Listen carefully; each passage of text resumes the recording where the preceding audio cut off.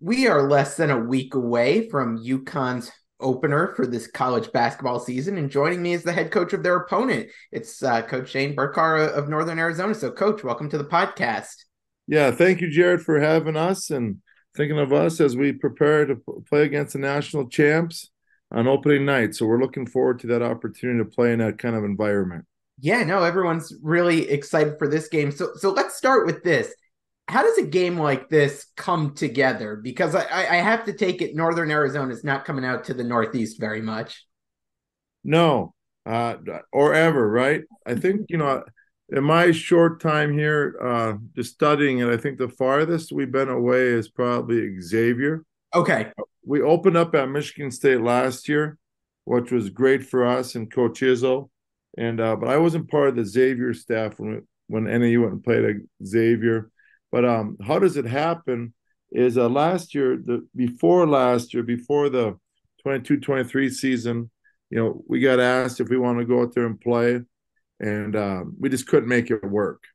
And then a couple of things happened this year. They asked again. We had our schedule full, and uh, they asked again, and you know, we hired Tim Russo, yeah, who, who was a GA for him last year, and you know, nothing but good things to say about UConn basketball and Coach Hurley and his staff. So it was something that we entertained, and I kind of joked around with our players this summer. I said, "Hey, would would you guys want to open up at UConn on opening night when they hang their banner?" And we're going to use that as motivation and hopefully inspiration at the same time. So that that's how it all came about in the summer, and we kind of played with some dates. And you know, in the case of UConn, some people want to play them, but most of the people don't want to. But uh, hey, what a bet! What a better game couldn't be a better game for us on opening night. No matter what happens in a game, I like to think we'll be better because of it. Yeah, take me through what you what you hope to what this opportunity is is like for your team. You're going to be, you know, on a nationally televised game against the defending champs on opening night. Yeah, I think there's two ways. You look at it from a program perspective. Uh, we're opening up national televised game. You know, gives us some, you know, moxie, I would think, and you know, our guys too for us, our league, Big Sky, is a great league, underrated league. For sure. that being said, we're a one bid league. So we go and play in Storrs, Connecticut and play in that kind of environment. And, you know, we have 10 teams in our league trying to get to the NCAA tournament. But at the same time, whatever team does get to the NCAA tournament is going to play one of these type of teams, but it'll be at a neutral court. So that's one of the motivations. And as I said a little bit earlier, Jared, the other thing is for our players to see that, see that kind of environment. And I'll tell you what, we played Gonzaga a couple years ago when they were number one in the country, and it made our team a better team. You cannot watch film and practice it. You just can't do that with UConn. Yeah. They're just different athletes. They're a great basketball team. But I think once you play them, I think uh, going against Coach Hurley could only make myself a better coach, which helps our program and our players to play against those type of guys as you head into the season, talk about the expectations you have for your team heading into this year. And I know last year you guys had a great run in the uh, conference tournament there, had a, a, number of close games that unfortunately just didn't go your way. So take me through your expect expectations for your team heading into this season. Yeah, great question. You know, I, I think when you see teams trending in the right direction, they usually have a good last 10 games of the season. And we most certainly did do that. I would say our last 16 conference games, and I'm saying that humbly, we, we were in every game. It wasn't like we're out, we were never outclassed, and then we had our run. You know, the, our preseason rank is eight, which I was a little surprised with, being full disclosure on it, and yeah. that most certainly cannot be right. Our expectations here are to compete for the Big Sky Championship. As I said, I know there's other nine other coaches and teams doing that, and I'm not doing it for bulletin board material, but we really see ourselves as that team competing for a Big Sky championship this year. As you look towards the, the season as a whole, I, I know a lot of coaches that I've spoken to at the mid major levels really in, enjoy playing these high major teams to get their team, you know, playing at, at a higher level during that non-conference schedule. How do you find? Because I, I, know you just play a, a, very tough schedule in general. You mentioned playing Michigan State, you know, last year. Um, I, I, know you've got some really tough teams this year on your schedule. You got Grand Canyon, uh, San Francisco, a, a number of, of, tough teams. So how do you use this non-conference to help your team uh, work towards accomplishing that goal of winning the Big Sky?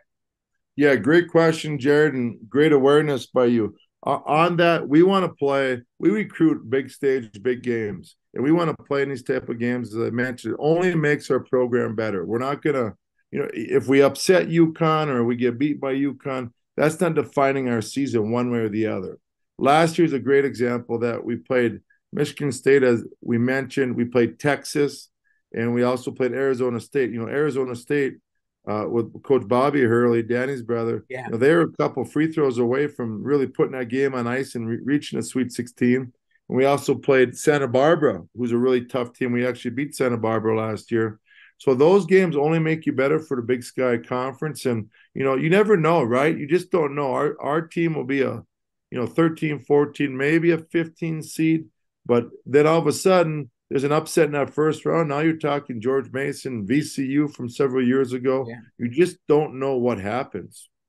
I'm curious as you prepare for this opening game. Uh, obviously, your roster has changed. UConn's roster has changed. While there's still some pieces coming back, how do you go about preparing to play this UConn team? Not having seen anything from this year's team, you know, on film, um, is just looking at what they've done in the past, historic trends, things like that.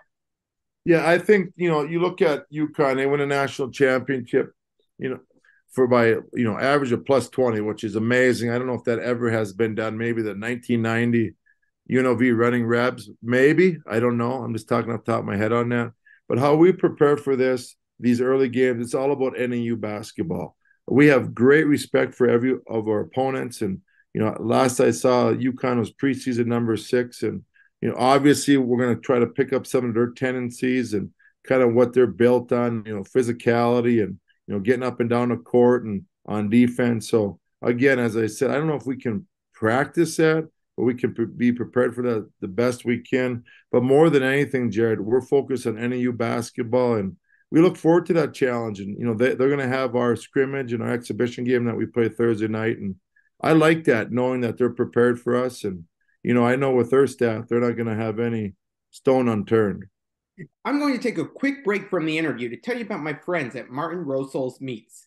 This fourth generation Connecticut family business produces kielbasa, hot dogs, sausages, and deli meats using Martin Rosol's very own original recipes. Their products can be found in grocery stores, delis, restaurants, and hot dog stands throughout the state. And if you're looking for your fill right away, check out their retail store in New Britain. For more information, visit martinrosolsinc.com and go support a UConn fan owned business. And now back to the interview. As you you talk about NAU basketball for for those fans up here who might not have ever seen one of your teams play before, uh, yeah. take me through what what NAU basketball is and what you mean by that. Yeah, I would say more than anything that we're we're built on toughness. I think every game that you see us play, we're going to compete. We have high character guys. Uh, our next step in our program is taking care of Flagstaff, Arizona, in the Big Sky Conference. Uh, really winning games here and, and you know doing the best we can on the road. But I think you'll see a team that's going to compete. I think we're going to be um, a, a legit competitive team. We're not going to cheap shot and you know start pushing and you know being you know what I call unnecessary roughness. Like we're going to be tough. We're going to compete with them, and um, you know no matter what the score is, we're not going to give in and uh, we're just going to try to get better. As we talk about, every possession has a life of its own.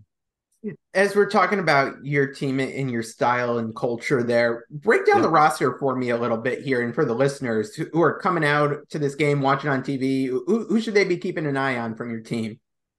Yeah, I, I, would say on paper, if you if you know anything about us, Carson Towt, big guy.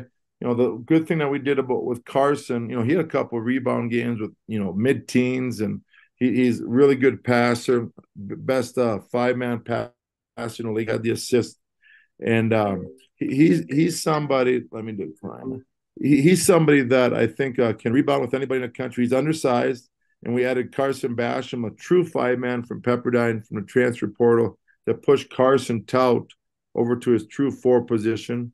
And you know the other three guys that we plan on starting are going to be Oakland Fort, hit the big game winning shot against Eastern Washington when we're, you know, top 10, number one on ESPN, then Sports Center. He's going to be a sophomore and you know, he has the keys to the car for next three years.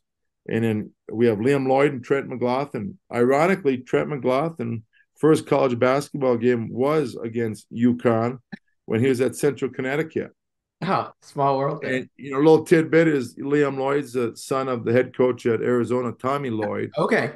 Yeah. So, uh, and we have some guys. Another guy, Jaden Jackson's been playing really well. He's a sophomore on paper, but he missed the whole last season because of injury. And I know UConn has one of those type of players too that you know didn't play last year and have high hopes of them. So yeah, I think we I think we have a pretty physical roster. I, am curious. I know the the way of recruiting now is so different with the transfer portal. How do you go about finding a guy who played at Central Connecticut to come out to Northern Arizona? Well, truth be told, so that that's you're full of good questions here, Jared. Okay. He he's a Arizona kid. Okay. So I actually, when I was an assistant coach at NAU, he was the first kid that I was allowed to offer okay. his sophomore year. Then COVID hit, you don't see games and trying to get the portal and you know different ways to do it. And he ended up going to Central Connecticut and putting his name in a portal. And you know we, we attacked him in a portal, and you know he started several games for us last year. And again, he's somebody who'll start the next two years if he takes care of business. So he's from Basha High School, which is in Chandler, two okay. hours from Flagstaff. Okay, all right. Uh, I, have got to ask, uh, given uh, who, who, you mentions on your staff now, the, the new addition in, in Tim Russo, who UConn fans know of. Uh, I, I, know a lot of people listening here and certainly know who his dad is, and his dad has told the story numerous times on radio about how uh, you guys got to talking. But but what did you see in Tim that that you know led you to hire him and bring him onto your staff? Yeah, a couple of things. I think to hire a young assistant coach like that, you have to have certain dynamics in place already. So I, you know, this will be my 26th year of coaching. I'm 51 years old, and uh, one of our lead assistants, Ben Johnson, he's you know he's 53 years old. So we have great experience there. Who can we can help nurture him and and help him along and let him grow on his own too. Like we're all going to make mistakes. I I know I still do, and I most certainly did when I was 24 years old, as Tim is. And we have a great up and coming coach who's 30 years old, Gary Bell, who played at Gonzaga former top 50 player in the country. So, and Coach Bell's been with me for a year. And so I think that's a dynamic that you can have. And, you know, I got to talk to Tim at the Final Four last year where, where I met his father, Chris, and his mom, Jean. And then, you know, the other thing too is Tim got the job on his own. He, he is very knowledgeable about his game, very loyal to uh, UConn staff and spoke highly of Coach Hurley. And, you know, sometimes people don't do that yeah. on a, you know they'll, they'll kind of knock their boss. And you know as a head coach that's the last thing you want you want loyalty. And you know, the other thing too coming to flagstaff i think that's somewhere where he can cut his teeth and hopefully stay here for several years. And um, you know we want him as long as he can stay. But the one thing i do want to get straight is that he earned his job. It wasn't any favors or anything. And you know win a national championship sure doesn't hurt to put on his um, you know his pedigree and help our program are, are you relieved his dad is not going to be retiring after bashing the Diamondbacks? Your your uh, local team there, uh, it, it, won't be hanging around in, in Flagstaff every night now.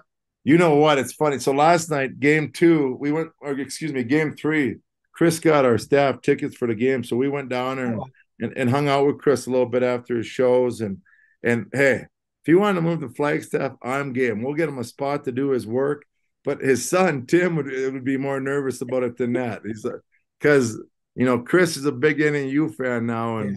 you know Coach Russo is very concerned if his dad would be here more times than not. So, but hey, I know Flagstaff and NAU would have him here any game. Yeah. Oh, well, well, Coach, I, I, really appreciate you taking some time to come on, uh, give UConn fans some insight into your program and your team this year. And I know everyone's looking forward to the opener. So thanks so much for coming on and uh, safe travels up here and best of luck in, in not only this game, but your season as a whole yeah, again, thank you for having us Jared. And we look forward to flying to Hartford and staying over. We're somewhere between Storrs and uh, Hartford, so okay, uh, it'll be it'll be a good time, and um, looking forward to. You got to tell me any good Hartford Whaler uh, vintage sports stores to go to. Oh, all right. I'm I'll get back to you on that. I'll shoot you an email. I there, we got plenty of that kind of stuff around here, so we'll yeah. we'll get you a hat one of the best emblems in all of sports, the Hartford Whalers. So we're looking forward to it. And thanks again for having us, Jerry. Yeah, no problem. Anytime. Thanks so much, Coach.